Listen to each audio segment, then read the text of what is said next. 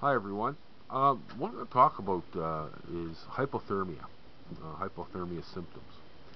Um, there's a real good article here, and I'm going to uh, uh, put the link down below in the description. And uh, this is one I found on the net, and it sort of goes into, um, it, it sort of lays out for you the article is, is much better than I can explain it, right? Um, I know how to prevent hypothermia, I know what to look for and everything like that, but, um, you know, if I went on explaining it, it would, you know, I'd be leaving stuff out. But anyway, you know, the signs that can be observed by other people, slowing of pace, drowsiness, fatigue, stumbling, thickness of speech, amnesia, irrationally poor judgment, hallucinations, loss of perceptual contact with the environment, uh, blueness of the skin, dilation of the uh, enlargement of the pupils, uh, decreased heart and respiration rate, and stupor. Um, noticed by the victim, fatigue, drowsiness, exhaustion, unwillingness to go on, feeling deep cold or numbness, poor coordination, stumbling. Uh, it the article also goes on uh, immediate help if the following are present uh, prevention, treatment, and um, it's a pretty compact little unit here, right? I mean, you could print it off and put it on a card. Uh, you know, it, you know, talks about, uh, you know, how to recognize it and what to do and I thought you guys might be interested in it. I mean, it's an important hypothermia can kill you in 40 minutes. Um, they had, I remember doing the, the training, right? And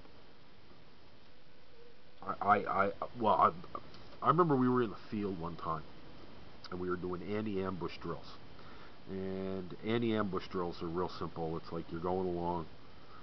Uh, no, anti-contact drills, not the anti-ambush drills. That was another time. But we're doing the anti-contact drill. So you're you're on a reconnaissance, and uh, you come up against the enemy. They see you. What do you do? Well, the ideal thing is you run 50 meters, change direction, run 50 meters, change and so on and so forth until you get away from them because you're on reconnaissance. You're not on a fighting patrol. You're on reconnaissance, and you have to break contact. Well, what had happened was is that uh, the, it was in the fall. Uh, I, I, it was early November, and the morning was really great. I mean, it was one of these mornings that was just, uh, you know, a warm November morning. Uh, long about 11 o'clock, 12 o'clock that afternoon, we uh, we got a heavy snow flurry. Now, when I talk about a heavy snow flurry, we got about a half an inch of snow down. All afternoon, we're doing the anti uh, anti-contact drills, and you know we have to go to ground. We get, you know, our, our combat clothing got soaked. Um, around about four o'clock, the temperature started to drop. It went from like just below zero down to about uh, minus 10 Celsius and the wind came up, everybody started to friggin' go hypothermic. So basically, we were in an emergency situation. So uh, we, we we got into a sheltered area, and we lit big fires to dry out, and then we marched back uh, because uh, it was recognized by the, uh, the lieutenant that we were in trouble or I, I don't know if it was a lieutenant or a sergeant, but uh, I suspect it was a sergeant because he was a pretty experienced, crusty old Korean War vet. And uh, he, uh, but anyway, we we built a couple of big fires, and we got sort of got in the middle of it, dried out, and uh, didn't take us long to warm up, and we had warm drinks. We made up uh, warm drinks and everything like that. But I, am going to tell you, it, it's a nasty experience. Uh, uh, I remember one time we we had to run. I don't know how many Ks, and we were in full winter kit, and we just got soaked. Uh, uh, we were absolutely soaked, and when we got back to the battalion area, uh, we stopped running. It got cold. It got serious really quickly.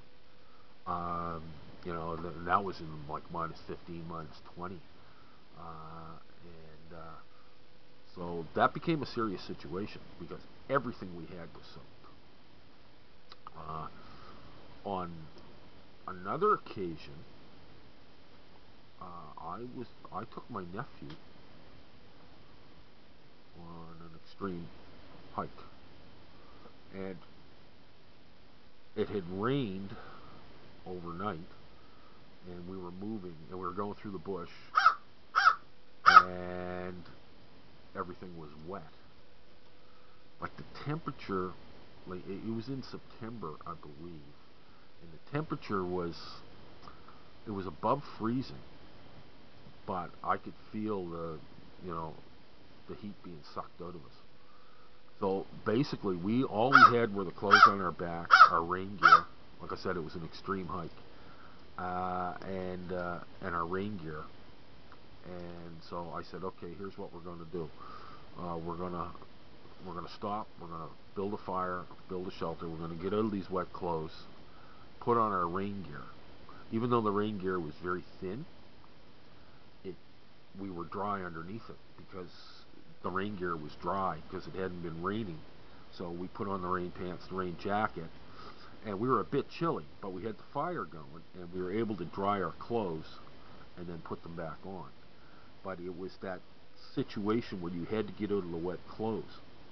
So uh, hypothermia is very serious. Like it's the only thing. Like uh, uh, it's the thing that I fear most and hypothermia or slash exposure um, is the is the item that kills most people when they're in a bad situation. Another example in the um, for you guys who out there who've read Bravo 20, it's about an SAS unit in the Gulf War, the first Gulf War, and they got hypothermia. I mean, here's some of the here's some of the most highly trained troops in the world, and they got hypothermia, and it screwed them up. And um, you know, as I was reading the book, I mean, if they had had a sheet of plastic with them to keep the snow off them, they wouldn't have got hypothermia, and uh, the mission might have went a little different. Um, but uh, if you haven't read Bravo 20, I recommend it. It's got a very good uh, uh, section there where they're talking about uh, when they got snowed on. They didn't realize that it snowed in Iraq too, right? You know, uh, that they can have wet snow and, and, and cold weather. Uh, you know, again, it's like best laid plans of mice and men, you know what I mean? You never know what's going to happen. Um, but uh, you know, hypothermia is the one thing that, that, that, that scares the hell out of me. Uh, because you can be dead in 40 minutes. Or you can go into a stupor in 40 minutes and then you're dead in an hour. You'll just go to sleep. It's, I, it's a good way to go, but uh, uh, hypothermia is one of the most important things to know how to how to stave off and how to prevent, right? Because um, you know the Sacred Order, you know, uh, Sacred Order of the Apache is uh, shelter, water, food, right? Shelter, fire, right? Those two go together. Water, food. Um, it, it, you know, if you can get under shelter, right, you can protect yourself. The fire helps. Water's even better, and food is great too. But uh, uh, uh, shelter and fire go together. Every survival manual I've ever read, every survival course I've ever been on, it always starts with the shelter and the fire. The ability to put up a shelter and the fire. Get out of the bad weather. To get that wetness off you. Because hypothermia will take you out like in 40 minutes. There's a the Canadian military has done, they have a testing center, and they've done extensive testing with hypothermia, and uh, you know, and, and, and that's why I, highly recommend the Canadian uh, uh, uh, winter warfare gear. I mean, I mean, we. This is us.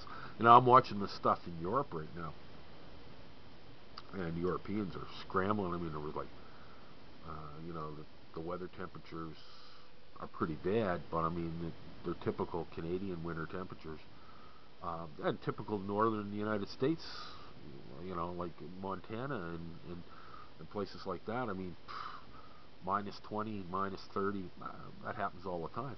They lose 250 people. 300 people have died over there. And it's because they really, you know, they, they really don't know because they've had such a moderate temperatures over the years. They don't know how to deal with the extreme stuff when it does come.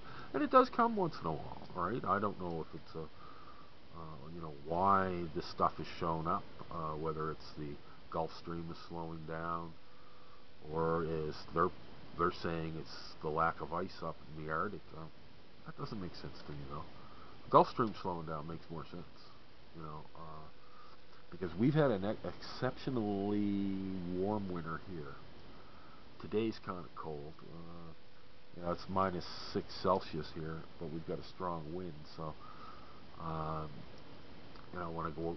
I'm going to go in the wood, work in the woods a little while, and uh, you know, I'll dress pretty warm for that. If I can find out where the dog put my toque. She's sleeping on it. Oh, she's sleeping on it, is she? Good. Uh, so it'll be, yeah, it'll be nice and warm for me. But um, no, anyway, check out this article on hypothermia. Hypothermia is the uh, it's it's a big killer. It really is. Uh, that's the one that gets everybody uh, when you're, you're, out there. Uh, uh, that and, and, even guys who know their stuff, like uh, when that Canadian transport plane went down up north. Know, some of them survived, but the other ones succumbed to hypothermia because it was minus 35, minus 40. Uh, so you've got to you've got to know a little bit about hypothermia, and, and I, I think this is a good article. Anyway, till the next time.